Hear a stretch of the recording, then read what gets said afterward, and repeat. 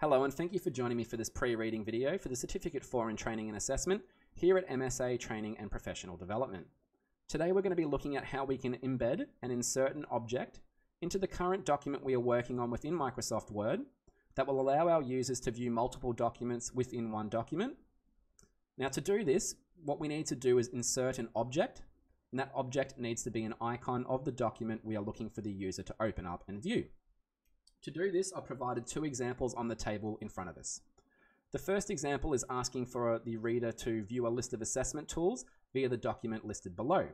Now we can't actually see the icon for the document listed below because we haven't inserted and embedded it yet. To do this, we need to go up to the top ribbon within Microsoft Word and click on the Insert tab. From here, we're going to go over to the right and go down to Insert Object. We will click on the Object button and then choose Create from File because we already have this file listed and saved on our computer. We are just looking to insert it into the current document. We will browse our system for this document.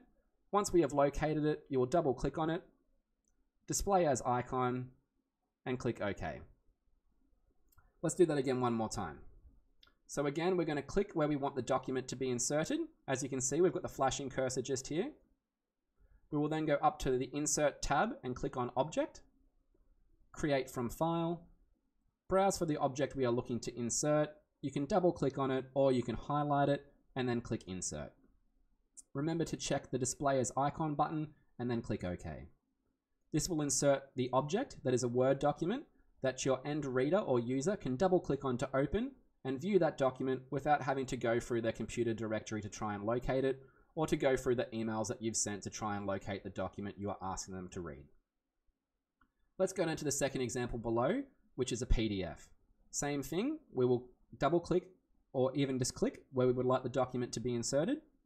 We will go up to the Insert tab, go over to Object, choose Create from File, browse for the file we're looking to insert, click insert, remember to display as icon, and this time you can see that the icon has changed because it's not a Word document we're inserting, it's a PDF document. It also gives a way for your readers to be able to see which documents you are trying to get them to open. We will click OK, and that will insert the PDF icon into our table, which will then allow the end user and reader to be able to double click on and view that document. Thank you again for joining me for today's video. I hope it has been of great help to you, and best of luck with all of your assessments.